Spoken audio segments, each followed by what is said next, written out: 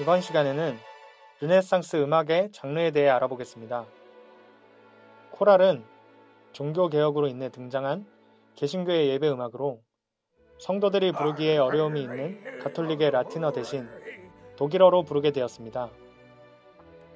음악을 통해 회중들의 참여를 높이고자 했던 루터의 의지가 반영되었으며 음악의 형태는 가사와 하나의 선율로 이루어져 있고 기존 노래에 다른 가사를 붙여서 새로운 노래를 만드는 일종의 패러디 기법이 주를 이루게 됩니다. 미사는 가톨릭 미사에서 성도들이 부르는 성악곡으로 키리에, 글로리아, 크레도, 상투스, 아뉴스 데이로 구성됩니다. 모테트는 중세, 르네상스 시대의 종교 음악으로 무반주 다성 성악곡입니다. 샹송은 11세기에서 13세기 가곡의 형태로 시작되어 기본적인 형식이 갖춰졌으며 16세기에 이르러 대중음악으로서 자리를 잡게 됩니다. 프랑스 샹송은 중세 때부터 르네상스 시대까지 프랑스를 대표하는 세속 음악입니다. 샹송은 중세 때 음유 시인들에 의해 만들어졌으며 1300년대에 다성 음악으로 확대된 샹송의 틀은 1500년경까지 거의 변화가 없었으며 전 유럽에서 불렀습니다. 마드리갈은 이탈리아에서 성행한 세속음악으로 초기 마드리갈은 플랑드르 작곡가에 의해 주도되었고 귀족들을 위한 음악으로 작곡되고 애용되었습니다.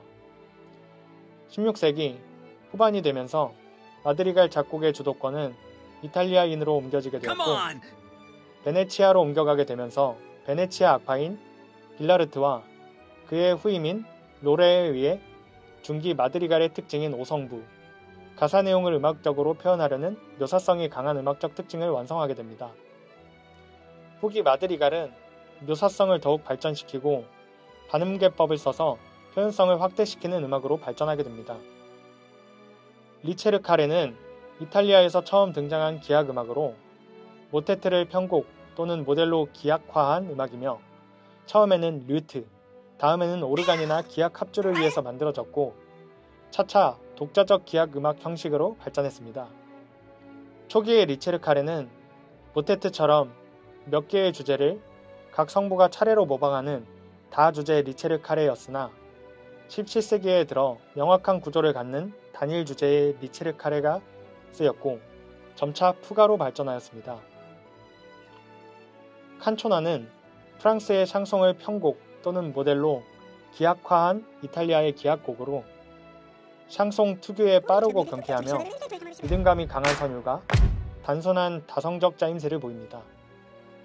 선율과 리듬이 대조를 이루는 주제들이 각 부분마다 들어있으며 17세기에 이르러 각 부분들은 그 길이가 길어지고 더욱 대조되며 분명히 나뉘는 독립된 악장을 이루어 교회 써나타 형식으로 변화했습니다.